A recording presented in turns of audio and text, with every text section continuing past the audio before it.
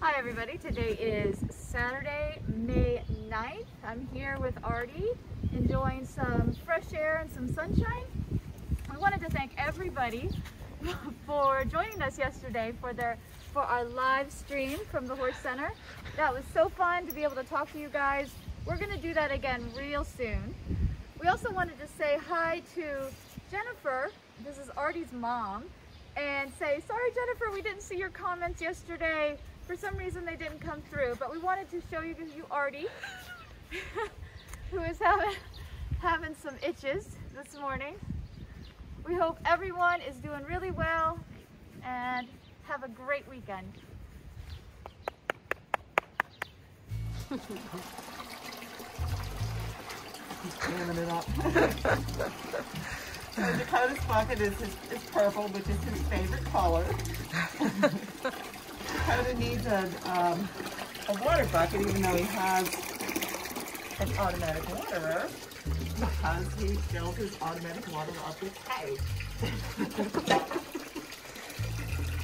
um, Boy. organized, I would, that's how much, that's just from overnight. That's one day's worth, I cleaned it out yesterday. Miss Ariel, our resident sweetheart little pony. And she is notorious for super dirty bucket. I cleaned them both out completely yesterday morning, and this is what we have in 24 hours. So there's a technique here. Here.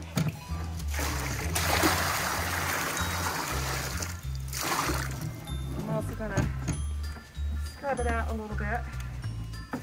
Been chewed up a lot. This is one of the things I learned on this job. Okay. This bucket is really dirty, but I can't lift it. I mean, I can lift it, but it's tied. So rather than tie it, I'm going to dump it into this one.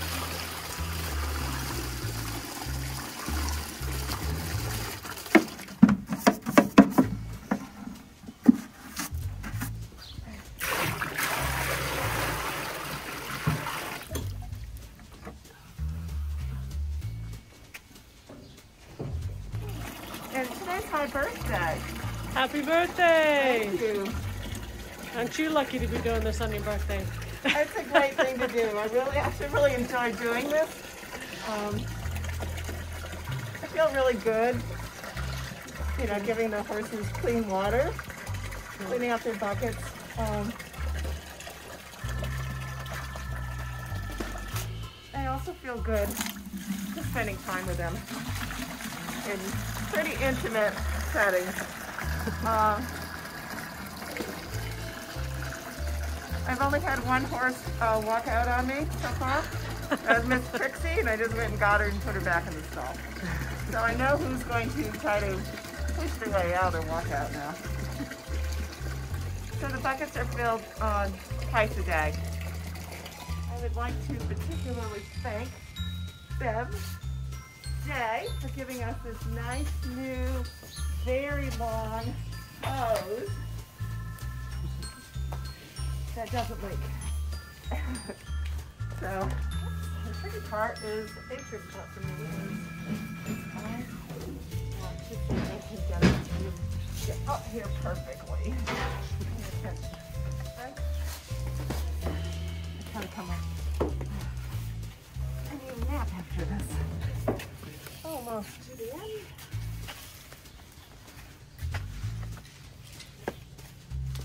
And before I started, I turned the water off. Voila! Yay!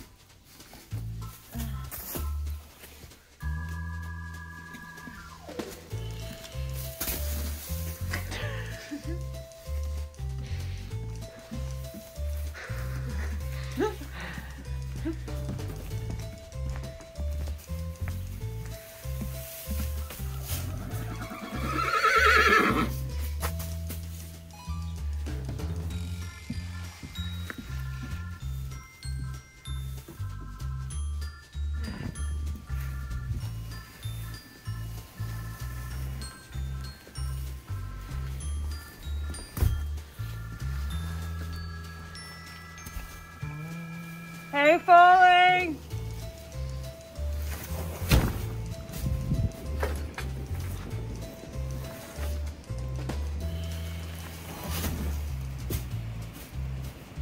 Claire!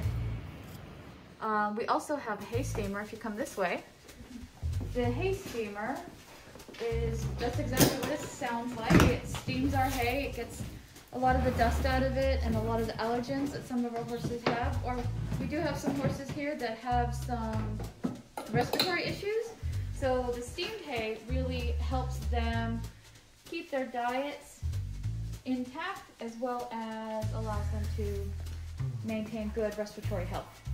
And Ellie here, it looks like you just steamed some hay for us. Can you talk a little bit about how you would set this up? Yeah, well, it's kind of like uh, playing Tetris, where you have to do like a whole thing of hay here and about a half thing of hay here, and then kind of put flakes and uh, on top of here, like on top, and And about how long does it take to steam this much hay? I usually chuck it in 45 minutes. So like I'll fill it and then I'll go off to do something like Yeah. feeding or helping out with whatever else needs to be done, and then I come back and that's what it does. Yeah. And here's a nice tip for everybody at home. In the wintertime, when this is shut and running, it's a great place to sit. Yes. Nice and warm.